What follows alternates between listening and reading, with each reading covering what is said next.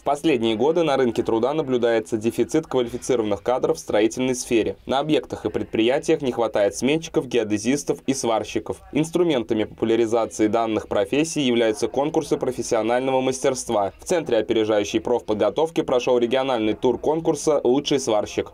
Конкурс мы проводим традиционно. Э, соответственно, э, в нем участвуют, как правило, сварщики, которые уже имеют высшую квалификацию в этом деле, то есть которые имеют, э, которые прошли обучение, сдали экзамены по системе НАКС, Национальная ассоциация контроля сварки.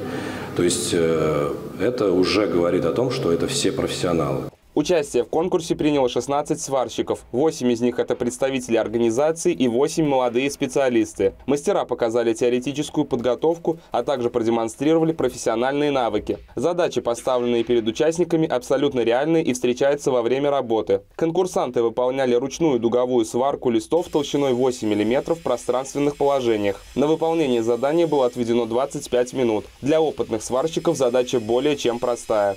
Задания достаточно простые, на самом деле, когда уже несколько лет работаю, поэтому уже много чего знаю.